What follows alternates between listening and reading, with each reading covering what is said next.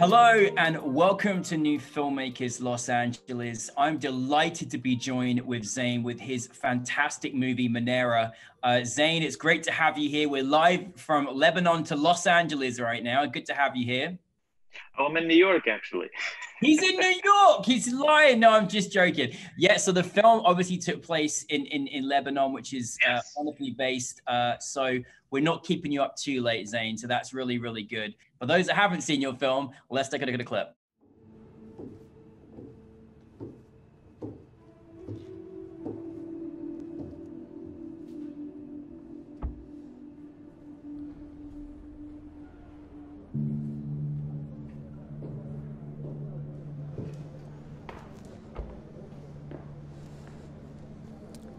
مثل ما اتفقنا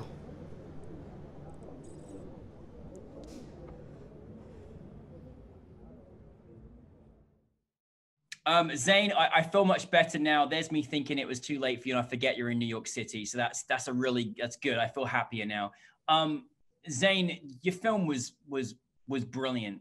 Um, I, I was I was just mesmerized by this story from the get go. It was it was it was fantastic. But for those that haven't seen your film, tell us a brief synopsis. Sure. Uh, so um, Manara is a um, short Lebanese film about a family dealing with a tragedy. A mother and her two children, uh, adult children, dealing with a tragedy after the disappearance or death um, of um, the patriarch under mysterious circumstances. And we explore how uh, that particular tragedy changes the dynamics between between those family members when the matriarch is um, insisting on covering up the um, the cause of death to avoid embarrassment or scandal because she's worried about um, how she might be perceived in the eyes of the immediate society and community. So, I think this is a really a story that's kind of and a, and a you know a, a, a, worrisome part of a story that's not often articulated as much as it should be, and a lot of families I feel may go through this. And and what i love about your characters is they're all in their own way articulating their pain you know their, their pain from this experience. And it was it was very moving and very hard. And i i just wanted to get in there and give everybody a hug you know. It, it really was you know wonderful to watch it's, it's painful to watch too.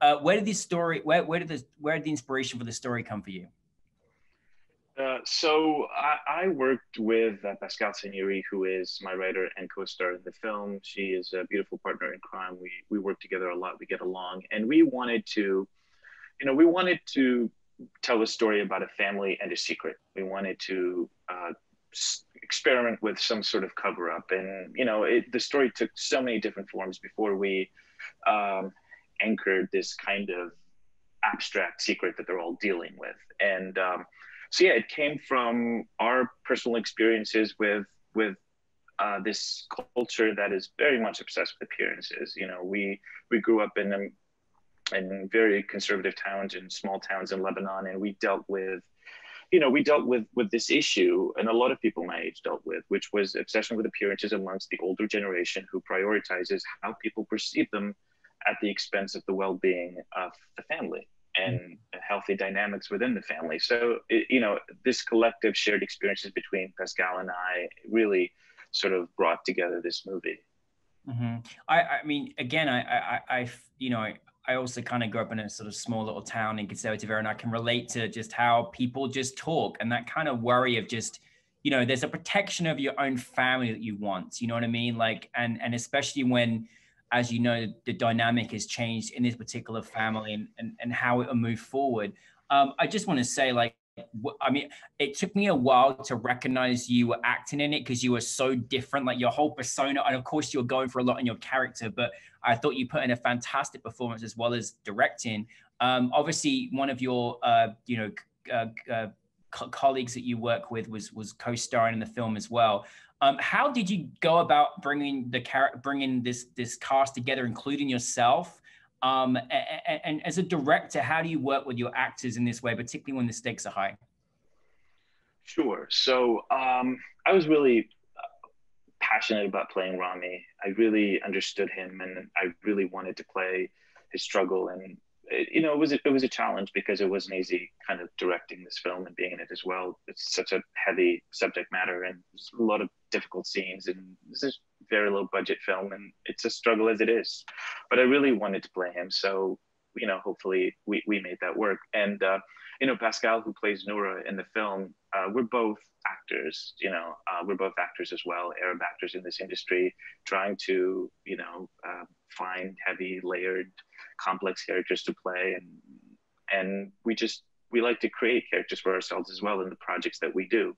Um, and um, Hala, who is um, the female protagonist in the film, film who plays Alia, uh, she's actually my aunt in real life, and. Oh, wow. Uh, yeah, so um. I it wasn't this kind of random impulsive casting choice. She looked very much like the character I, I you know that I envisioned for Alia, and uh, um, and I work very well with people I know very well. You know, I'm familiar with their lives, with their pain, and um, and so I was able to I was able to get a lot from her because I knew her very well, and it was familiar and uh, and familial. So um, the, the sort of the cast came about from from from those decisions really and instinct. You know, I kind of I went with my gut. So when it came to casting Hala as uh, as Ali as well. So. And you, did you ever worked with your aunt in this capacity before? when, we, when we were kids, we were like you know, we're all theatrical, and she's very theatrical as well. She, you know, I think in a different life she would have chosen this career path, but um, um, you know, she's very playful and she's very theatrical, and and we, you know, as as a kid, we, you know, we would in in in the past we would do a lot of different sketches and stuff. So I thought, you know what, why don't you just you like this you like this you like this thing called acting so why don't we just do it you know do something and um, and, you know, and, and see what you can do. So yeah, she's brilliant. She was brilliant. I mean, I was just, I'm just glad, I'm glad you kept it in the family too, because it was, it was.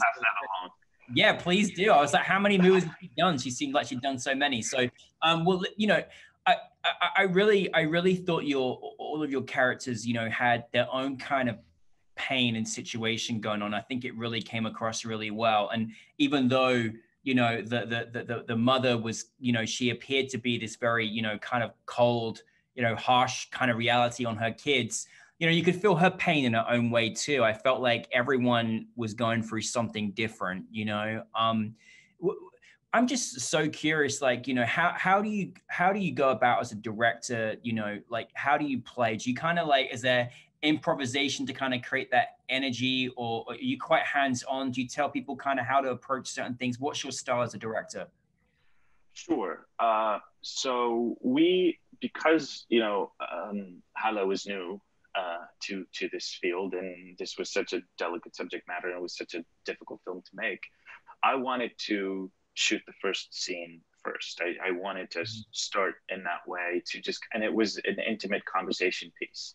And so I made sure that it was just the three of us in the room and only essential crew. And I asked a, lo- a lot of people to leave the room and just so that everybody can can relax into it and just um, find the words and find the rhythm and the dynamic. And then it sort of it went on from there. Mm-hmm. And um, and um, it was I think the most difficult difficult scene to direct was the confrontation scene in in, in the in the in the bedroom, um, and that was very difficult because um, you know we were shooting we were shooting at this hotel and we weren't really allowed access into the room, and so we couldn't really do any sort of block blocking rehearsal or any any type of rehearsal. So we just had to do this guerrilla style, uh, you know, um, production in that in that scene. Uh, so it was it was difficult being in it and directing it as well. But I really I just wanted everybody to feel comfortable and um and you know and, and just it's it's very it was a very difficult film to make but I, I did try my very best to make everybody feel comfortable uh, yeah during the process I mean, I was gonna. I mean, you said obviously film part of it in a hotel, but I I, I love the the set the setting that you set for us. Like it was so beautiful how it started with the water and, and, finished with the water as well. And this whole kind of atmosphere that you created for us was, it just felt very delicate. Tell us a bit more about how do you find that location? Because it looks so beautiful where, where it was shot as well. Yeah, um, so th- that location is a, is a resort called Al Fanar in southern Lebanon in a, uh, in a city called Tyre. Which is my mother's hometown, and um, it's just just a beautiful location in itself. It needs no production design whatsoever, and uh, the owner Walid uh, was very generous in letting us, you know, shoot uh, shoot in in that hotel. And so, you know, I I it, it just kind of go in and just the, the, the film writes itself, you know, and I really was adamant on shooting something um, by by the lighthouse in that hotel which is very aesthetic in itself. So yeah, so thank you, uh, Walid, for letting me uh, access that location. One of the things that I you know love so much about your style is I just love your kind of intricate details that were just meant so much. Like the whole the whole thing with the nuts, um, you know, was just just just kind of moving because you know, but also just the delicacy that you had with each of the close-ups and and how you visualize that. Like it just felt very delicate, like we were in a circumstance that was kind of uncomfortable. Is that kind of something you wanted to create from a sort of visual perspective? Because I really felt like everything was just kind of big and you know but even just the tiniest details just just they they i felt something absolutely again you know i want to do, uh, do a big shout out to my writer pascal uh, as well because without her this film would not have happened and my my cast and crew as well, uh, who I love very dearly. And also without them, the film would not have happened. But yes, I care very much about detail.